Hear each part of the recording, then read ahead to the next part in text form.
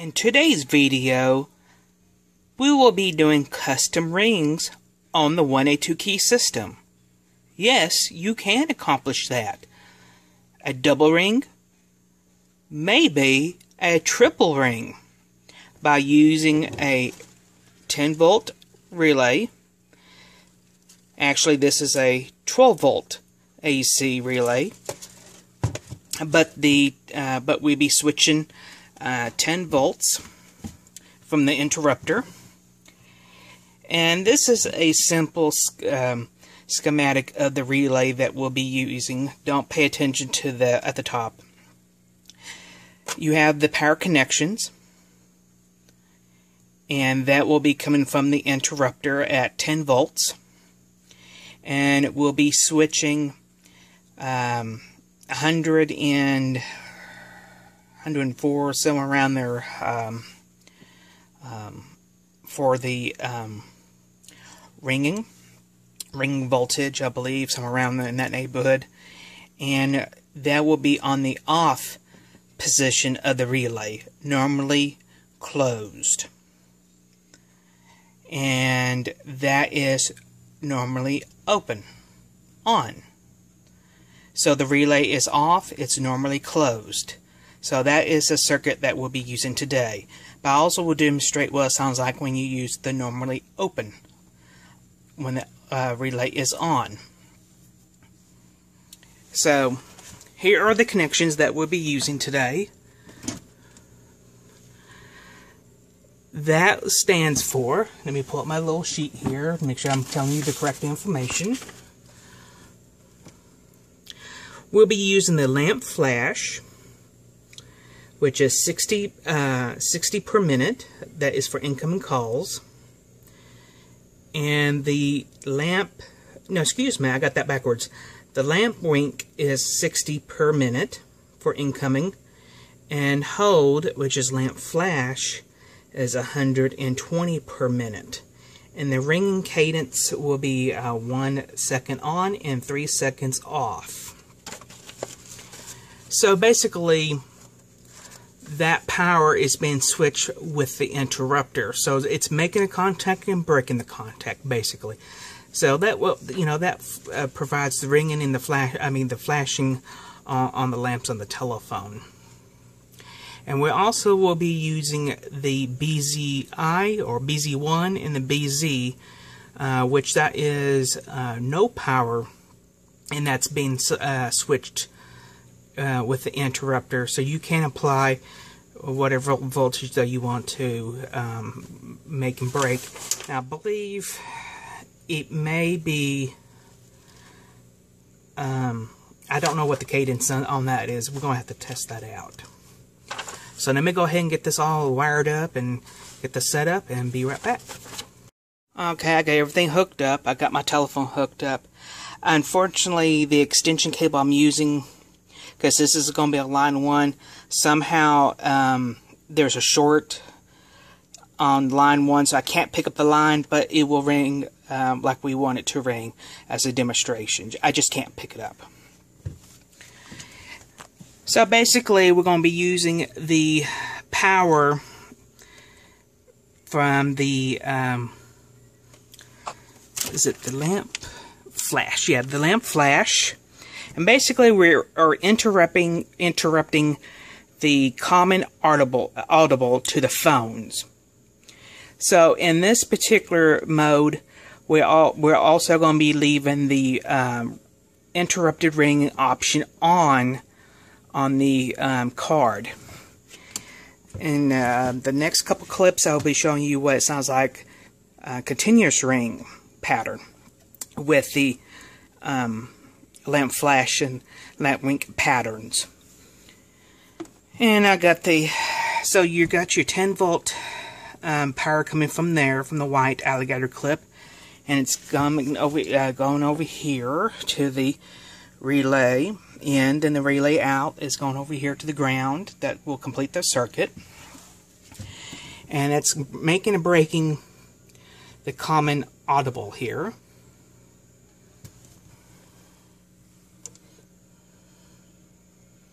So let's go ahead and get this demonstrated here. This is going to be the double ring.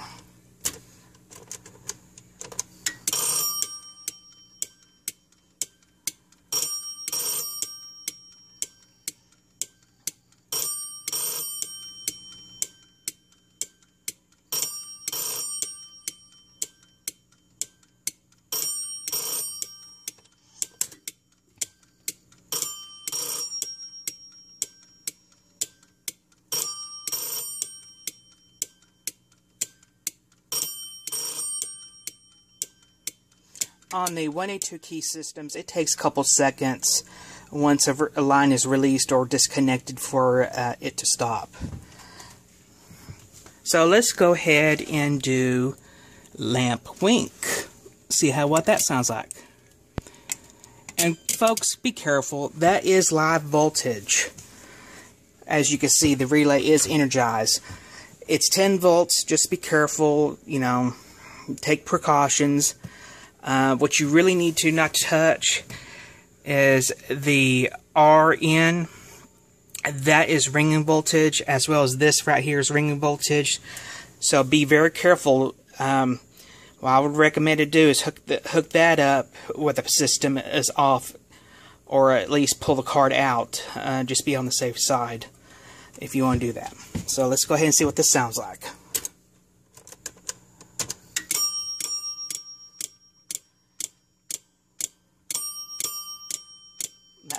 Too.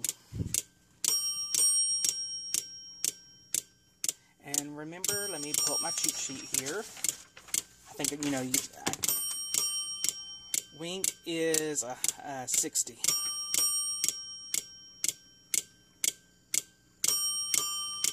Maybe that's wrong. I don't know. I get them mixed up.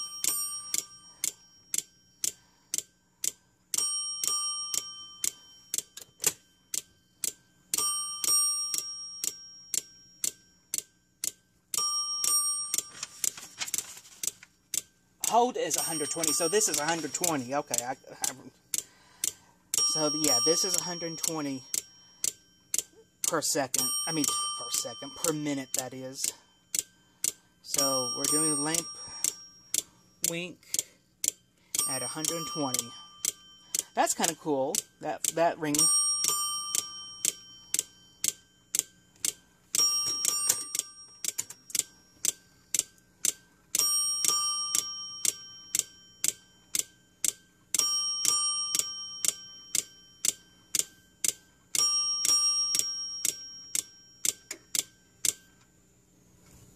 Okay, so next, let's go ahead and see what it sounds like if we do it um, um,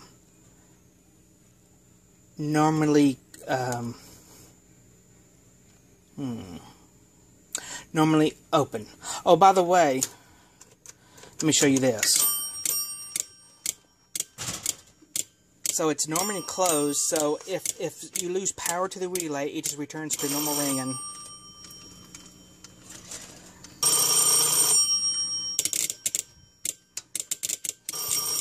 Oh, let's see. Can't see. There, I can see it better now.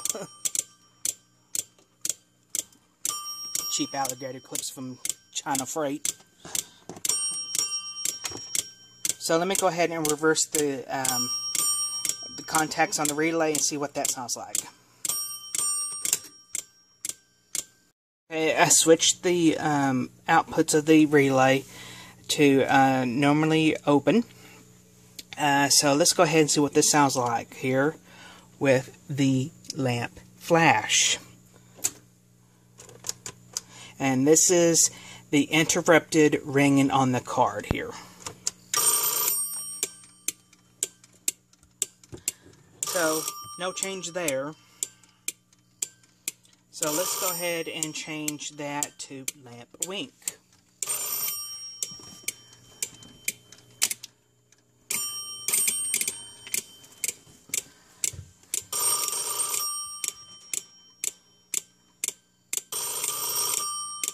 So that sounds different, a double ring.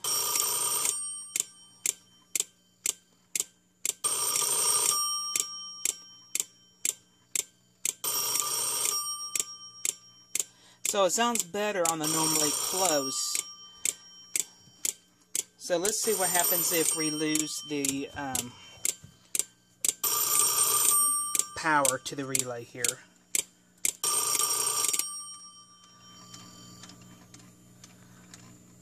Nothing, because the relay is off.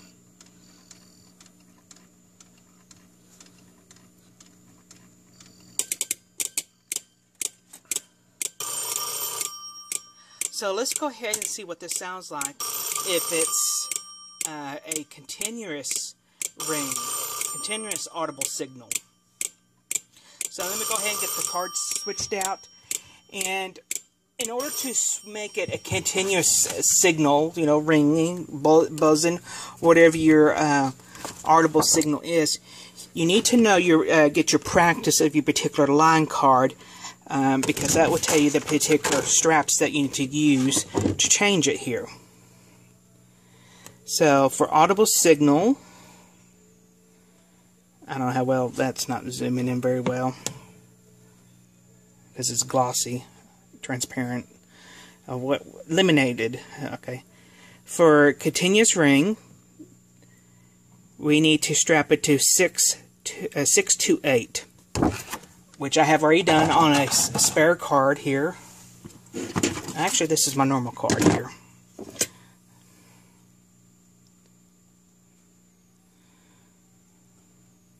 Right there. This is just excess wire. That's not going to hurt nothing. So this, these are the straps that you would need to change. So you need to make sure you do have the correct practice for the card to make sure you don't damage anything because if you do it wrong it will screw up something and blow a fuse. So let's go ahead and swap, let me go ahead and swap the card out, be right back. I have switched out the cards and this is going to be now going to be the uh, continuous ring audible signal and this is going to be on the lamp flash and this and I switched it uh, the relay to normally closed operation. So let's go ahead and see what this sounds like.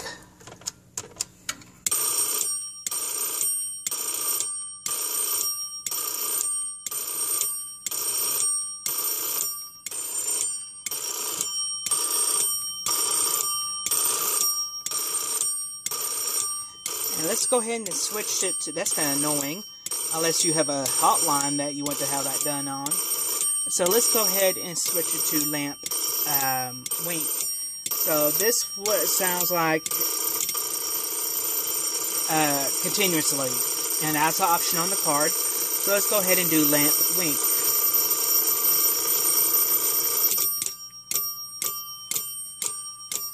That's lamp wink. That's pretty cool.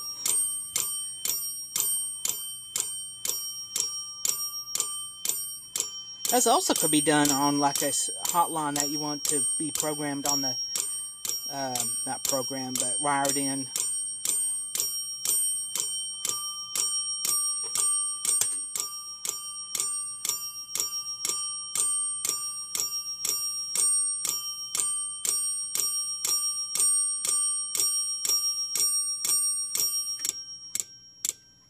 Now, knowing that, that's kind of cool though let's go ahead and see what happens if we wired it also through the BZ and BZ1 through the interrupter. What kind of ringing can we get from that? So let me go ahead and get that uh, uh, connected here.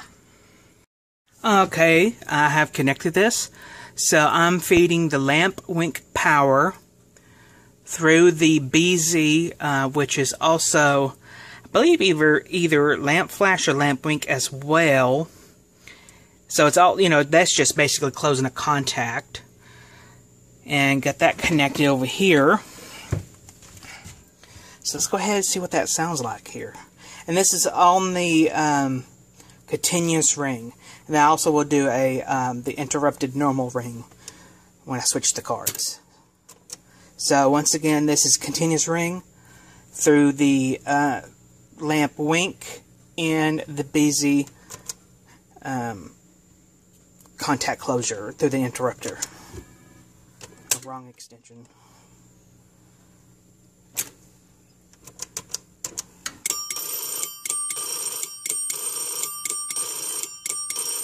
Is that doing like three times? Yeah. Continuous ring, yeah. That's kind of cool too.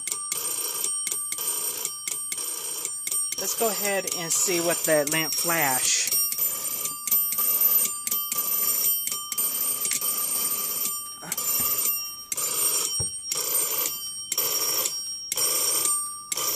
So it's kind of like before. Because it's also doing the lamp flash uh, cadence as well.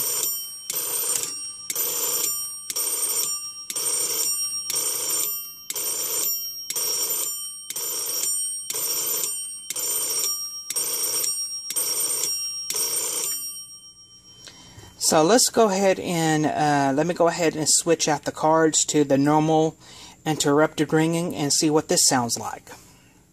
I swap, swapped out the card uh, for a uh, interrupted ringing and um, got this uh, for um, lamp flash through the BZ contact closers and I think it's going to be the same as before as that's also doing the same cadence but let's go ahead and, and see.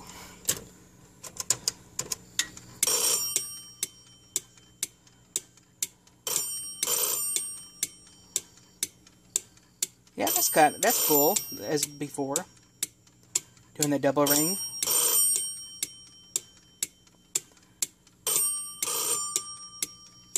Well, let's go ahead and switch it to lamp wink.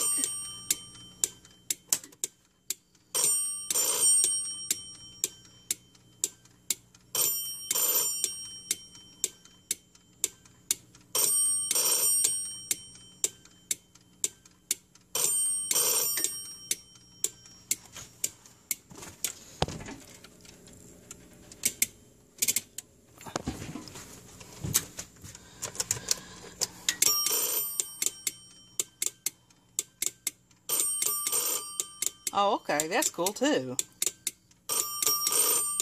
Yeah, it's, it's doing three, triple ring.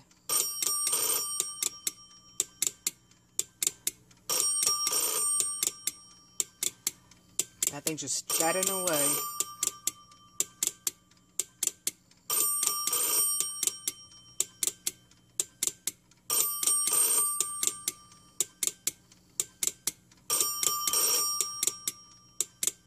So yeah, that's the um, lamp wink for the lamp flash contact closure on the BZ terminals. I kind of like that too.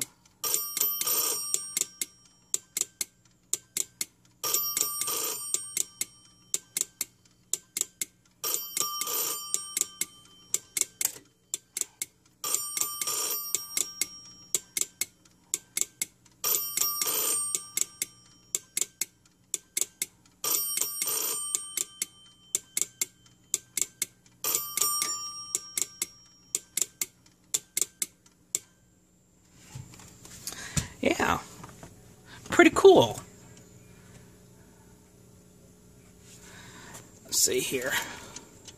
So I have a plan kind of in my head, a little project with my intercom lamp because it doesn't do any lamp flashing except when you dial the uh, the station, just a little flash. But you can strap, you can do a relay on the ST to ground over here on the power supply. Uh, no, actually, you would do a relay strap in the ST. No, I take that back. You would do a relay on the um, ground or the 24 volt uh, contact on the uh, on the intercom, and that will either open. Well, actually, it should close the um, the ST to ground, and that will make the uh, interrupter start. Actually, let's see if I can short it out now. Folks, just be careful. Well, actually, no, I can't do that like this with a screwdriver because it has to be grounded to the power supply. Hell, another thing just falls. So, very interested in results that, that you can do. Uh, unfortunately, the relay is powered on constantly. I'm not an expert on that, but I don't know if that will make it burn out faster or what the case may be. You probably, because this is just a cheap old China one, you probably want to get an American-made relay that will last um, continuous power on. So if you do have any questions or comments, please post them below.